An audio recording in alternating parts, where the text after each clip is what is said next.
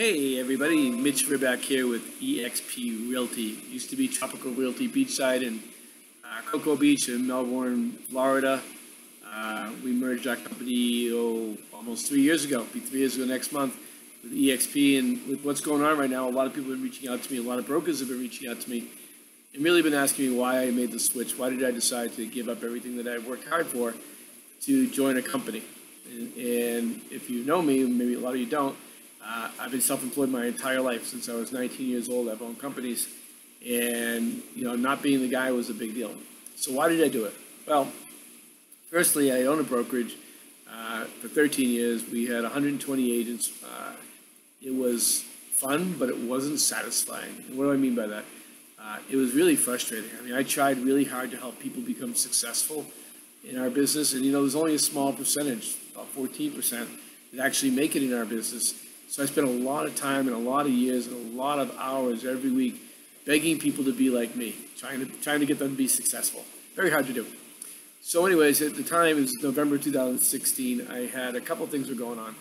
Um, one was I I turned 55 that year, which is kind of freaking me out. Uh, two, I owned another company along with my uh, real estate brokerage, and I was working about 80 to 100 hours a week. It was really, it was too much. It was getting to me. So I, um, I went and decided I was going to sell the company. I, I basically reached out to a bunch of different franchises, put myself up for sale, and I got a couple of offers and decided to go with one. Uh, and the funny part was we got down to sit down and talk about the terms because everything else was negotiated. And they, they hold the terms to last, right? They get you excited about selling your company. And they told me this, it was blows my mind to this day. Well, we're going to give you a little money the first year, a little money the second year. In the third year, we're going to give you a final payout, which is going to be 100% dependent on how many of your original 120 agents come over to the company. So I looked at them in the eyes and I said, all right, so let me get this straight. So if you guys suck at what you do and 50% of my agents leave, I'm going to get 50% of my money. They said, yes. I said, that is the stupidest friggin' thing I've heard in my life. In my life, I've never heard anything that stupid. Why would I give my, my whole livelihood away to somebody that I don't have any control of. So, anyways, I uh, at that point I literally I, I let go 50 agents. I was done babysitting. I was done trying to help people become successful who didn't want to be successful. Uh, and I um, let go 50 agents. I got down to about 65 agents, and then called Jason Gesing from eXp Realty, who I've met with a few times before. But why didn't I do it before that? Because my ego got in the way. Right? I was too. Uh, I'm, I'm the broker. I'm the big guy. I'm the big guy on campus, right? Uh, all the crap that we tell ourselves to make ourselves feel good about life.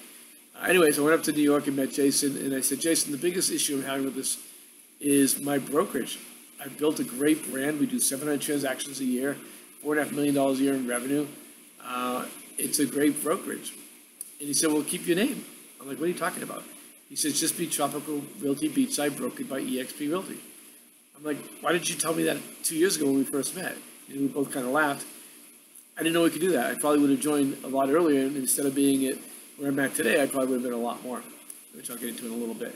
So, anyways, I came back from uh, from New York, all excited, but didn't really do anything about it because I was actually making a few dollars at that point, and I didn't I didn't know how to break it to my agents that I wanted to do this. So finally, I took about 34 of my agents who did about 92% of my business into a, a breakfast and we, I just explained it to him. I said, look, this is an opportunity. It's actually the best opportunity I've ever seen in my life of being self-employed for 40 years.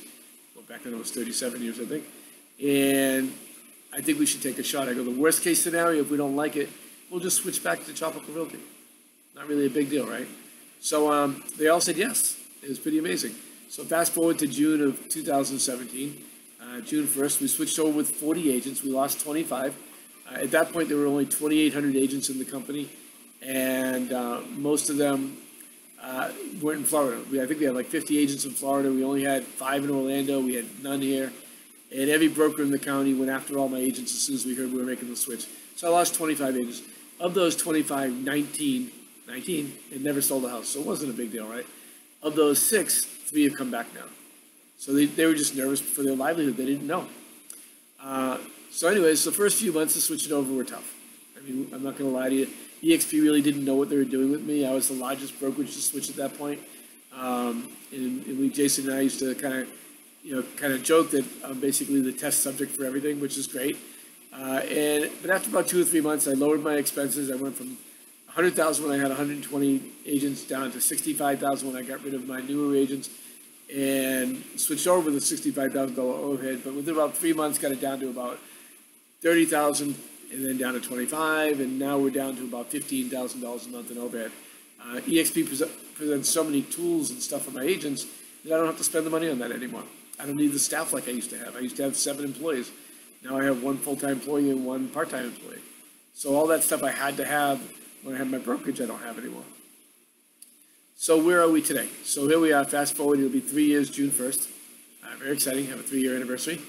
And I have about five hundred and thirty agents right now, in twenty-six states. Uh, grows at about three to five percent per month right now, pretty, pretty awesome. Uh, and, you know, one of the reasons I did this was when I turned fifty-five, I just kind of freaked out.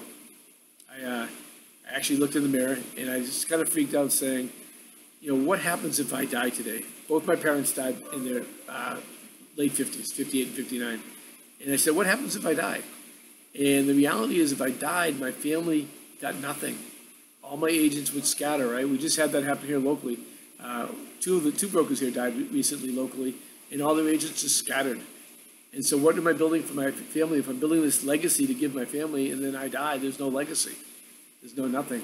So I had to really think about that. Um, and it was it was a tough decision. I'm gonna, you know, switching, giving up almost four million dollars is a tough decision for anybody. But from the long term health, I really believe that this was the biggest opportunity for my family and for my friends and my agents. So again, fast forward, you know, here I'm doing great. Uh, I've built up a great revenue share now that uh, it took me three years. The beauty of that is I've only brought on 35 agents personally.